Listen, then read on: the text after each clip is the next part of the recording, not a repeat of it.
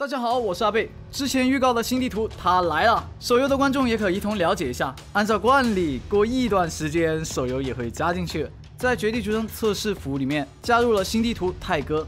新地图泰戈是以1980年代的韩国为原型，地图大小八乘八，和海岛、沙漠同等大小，整个地图看起来十分舒服清爽。我个人认为是目前视觉效果最好的一张图。地图的风格和海岛图接近，其余有特色建筑地形包括了澡堂子。古风建筑、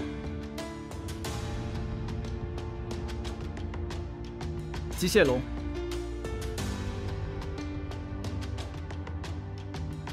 地图物资超级丰厚，搜城区的两间房子，我的二级包就满了。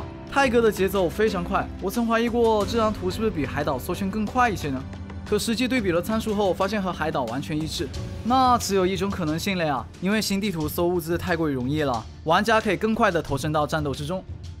之前我说过啊，泰哥被海水分割，第一轮刷圈就可能出现上下两个区域被海水分割的阴阳圈。可实际游玩起来，我才意识到，第一轮刷圈它就可以刷出三个区域的阴阳圈，左、中、右。想要到达各自的区域，都得过桥或者游泳。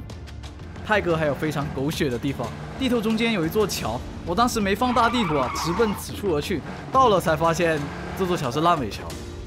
泰戈的地图特色是复活，该图有两种复活机制。第一个机制是除颤器，当失去了除颤器，倒地后可以自己救自己起来，耗时十秒钟，使用后不可以取消，也不可以移动，所以得想清楚使用的时机。使用除颤器不可以和队友施救同时进行，除颤器在单排也可以使用。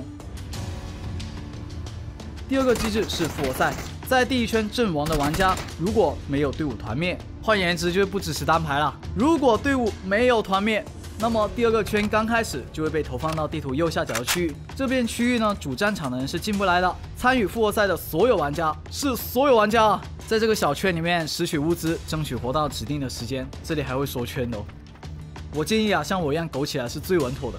复活赛的物资很丰厚啊，并且十分重要，一定要捡啊。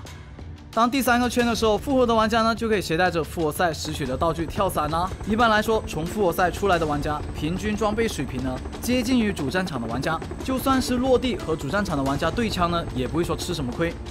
不过第三个圈已经很小了，对于主战场的玩家来说呢，复活赛出来跳伞的玩家简直就是大自然的馈赠。看到跳伞了，穷追猛打，将其搞定。当然了，我也遇到过同样的事情。当我刚跳伞落地，敌人就开着车追过来了，可恶！接下来介绍泰哥的专属武器——第一把枪 K 二步枪。这把枪刷新率极高啊！我好几局落地第一把枪就是它。裸枪情况下，它的后坐力比 M 四幺六更低，但 K 二相比于 M 四幺六呢，缺少了握把、枪托槽，注定了满配的情况下呢，比不过 M 四幺六步枪。但我觉得啊，这图捡到这把枪呢，无脑用即可。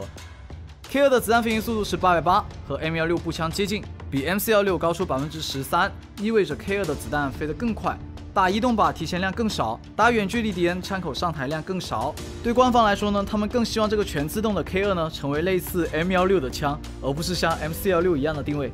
第二把专属武器 MK 十二连狙，使用五点五六子弹，单发伤害五十，比 mini 的四七高一些，伤害的差距呢，带来了质变。换言之，他打三级头的敌人只要两枪，比 mini 少一枪。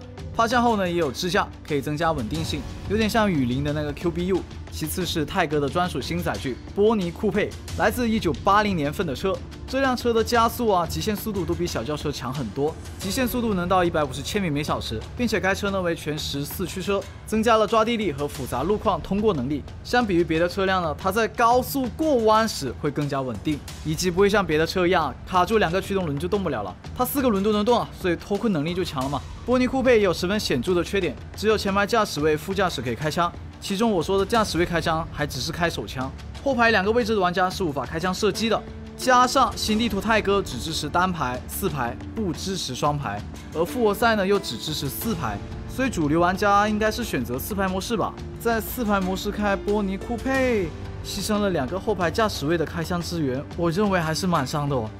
哦，对了，新地图还有个有趣的地方，加入了鸟类。当我们经过某些区域时，鸟会受到惊吓而飞走，也就是说，我们可以根据被吓飞的鸟来得出对应的区域有人的存在。好的，以上就是泰哥更新的内容了。不知您对这个地图有什么看法呢？欢迎在评论区畅所欲言哦，谢谢。